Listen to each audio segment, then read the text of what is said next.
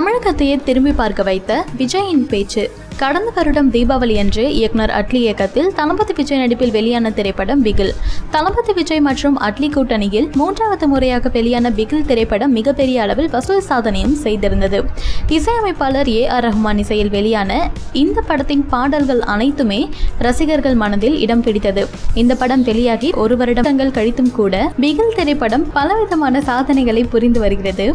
இந்த நிலையில் பிகில் படத்தின் ஆடியோ நிகழ்ச்சி மிக பிரம்மாண்டமாக நடந்திருக்கு. இந்த இசை வெளியீட்டு விழா நடந்த ஒரு வருடமான நிலையில் அதனை ரசிகர்கள் இணையத்தில் மாசாக கொண்டாடிட்டு இருக்காங்க. இசை வெளியீட்டு விழாவில் நடந்த சில சுவாரஸ்ய செய்திகளை பார்க்கலாம். விவேக் விழா அரங்கிற்கு வருவதற்கு தனக்கு மூன்று மணி நேரம் ஆனதாக குறிப்பிட்டிருந்தார். அத்திவாரதர் தரிசனத்திற்கு பிறகு பிகில் ஆடியோ லான்ச்சில் தான் இவ்வளவு கூட்டத்தை பார்ப்பதாக அவர் கலாய்த்தார். வெற்றி எப்பொழுதும் ஒரு போதை தரும். ஆனால் அது விஜய் தலையில் ஏறியதே இல்லை என்றார் அவர். பழக்கம் போல விவேக் விவேக்கின் இந்த ஜாலியான பேச்சு விழாவின் ஹைலைட் ஆனது. இசை நிகழ்ச்சியின் ஹைலைட் தளபதி விஜயின் பேச்சுதான். ரசிகர்களுக்காக மேடையில் பெரித்தனம் பாடலையும் பாடியிருந்தாரு. பேனர் விழுந்து இருந்த சுபஸ்ரீயின் மரணம் குறித்து விஜய் பேசியிருக்காரு. யார் மீது கோபப்பட வேண்டுமோ அவர்கள் மீது கோபப்படாமல் யார் யார் மீதோ பழி போடுகிறார்கள் என்று சுபஸ்ரீ விவகாரத்தை குறித்து பேசியிருந்தார் விஜய். அரசியலில் புகுந்து விளையாடுங்கள் ஆனால் விளையாட்டில் அரசியல் வேண்டாம். சமூக வலைதளங்களை நல்ல விஷயங்களுக்காக பயன்படுத்துங்கள் சமூக பிரச்சனைகளுக்கு ஹேஷ்டாக் உருவாக்கி ட்ரெண்ட் செய்யுங்கள். என்னுடைய போஸ்டர்களை கிழித்தாலும் பரவாயில்லை என் ரசிகர்கள் மீது கை வைக்க வேண்டாம்.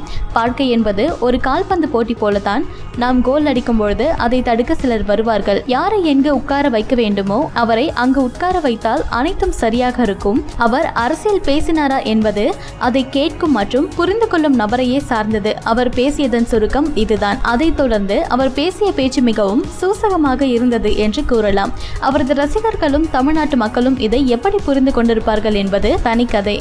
உலகையே அதிர வைத்த நேசமணி மீம்ஸ் ஒன்று விஜய்க்கு போட்டு காட்டப்பட்டது. அதை பார்க்கும் பொழுது என்ன தோன்றுகிறது என விஜயிடம் ரம்யா கேட்டார். அதற்கு விஜய் ஆணியே என்று சொல்லத் தொடங்க அரங்கமே அதிரும் அளவிற்கு ரசிகர்கள் ஆரவாரம் செய்தனர்.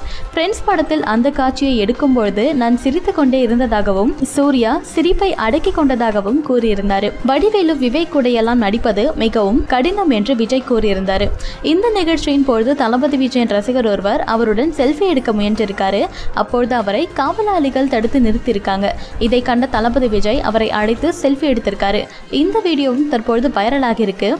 தளபதி விஜய் கருப்பு நிற உடை அணிந்து வந்தது. விழாவுக்கு வந்ததும் ரசிகர்களை நோக்கி தனது மொபைல் போனில் டார்ச் லைட் அடித்து காட்டியது என பிகல் விழாவில் ஏகப்பட்ட சுவாரஸ்ய நிகழ்வுகள் இடம்பெற்றிருக்கு.